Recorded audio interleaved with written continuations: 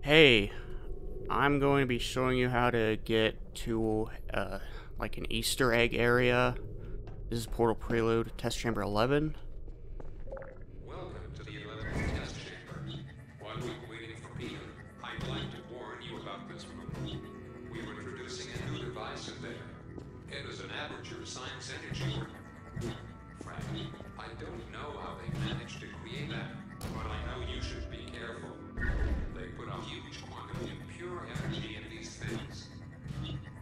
Alright, so first thing we need to do, get this camera,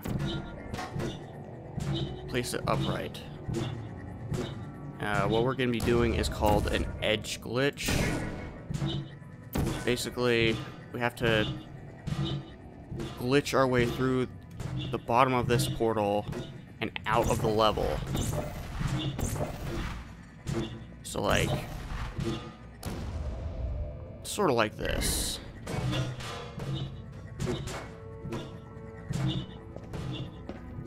Ah, you see? Look, and then there's that area right there.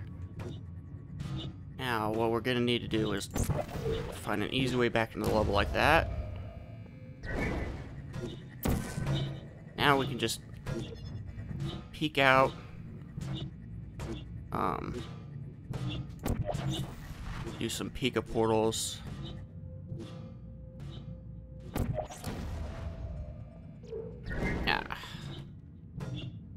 Shoot to the top of that. Just gonna save. And. Uh, now, we have to fall through this and then shoot a portal while um, we're falling through it. So it brings us back into the map. Okay, it's pretty tricky to do, but... Ah! Damn it, I fucked that up. Okay. Uh, fuck, come on.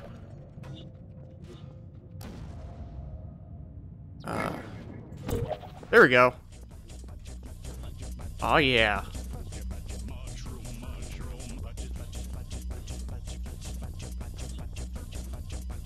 I think it's so funny that they included this.